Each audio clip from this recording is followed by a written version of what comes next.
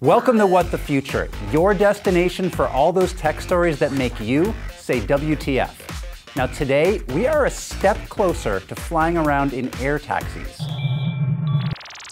Boeing tweeted out this video of what it says is its first test flight of its autonomous vertical takeoff and landing vehicle. Now, during the flight, the vehicle only demonstrates a few abilities, namely takeoff, hovering, and landing, as well as some autonomous abilities. Boeing says it will expand testing to include traditional wing-based flight and transitioning between those two states. The company says that's the trickiest part. Boeing hasn't named the aircraft, though we do know it's designed to be completely autonomous and that its electric motors and battery are designed to give it a range of up to 50 miles. Now this comes just weeks after helicopter manufacturer Bell unveiled a non-working prototype of its Nexus flying air taxi at CES.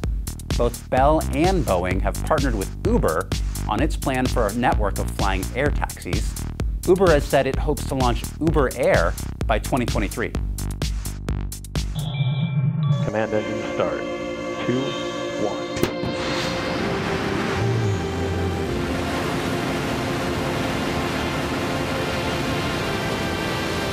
Blue Origin returned to space this morning after a six-month hiatus. This marked the 10th successful launch of the new Shepard rocket. Now, on board were eight research projects sponsored by NASA. The Shepard is like a smaller version of SpaceX's Falcon 9 rocket. Now, last week, Blue Origin, which is owned by Amazon's Jeff Bezos, showed us its vision of its own future with this animation.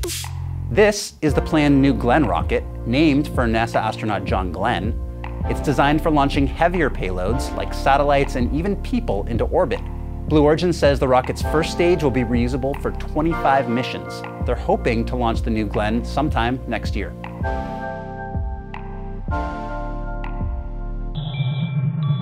What you're seeing here is thousands of microbots behaving like human cells. Now that means they can communicate with each other and determine where they're needed on their own. They don't need to be told what to do. Now, if this looks familiar, it may be reminding you of the microbots from Big Hero 6. I think what I want them to do,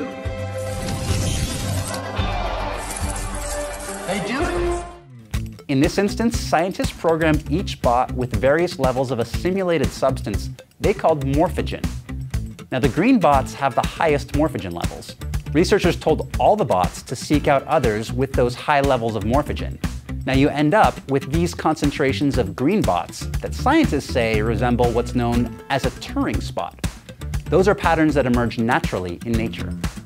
Now, in the future, researchers imagine thousands of these bots creating dynamic shapes, like a temporary bridge that adapts to shape and fits the terrain. All right, time for a question. Kevin wants to know if the Bell Nexus flying air taxi would be really loud. Bell is touting this as the future of urban ride shares. Now, even though it's powered by those six massive fans, Bell says it will be quiet enough for city travel. Of course, we haven't seen a working model yet, and Bell says testing won't begin until 2023. All right, what makes you say WTF? Let us know in the comments. If you enjoyed this video, think about giving us a thumbs up. That's gonna do it for this week. I'm Andy Altman. Thanks for watching What the Future.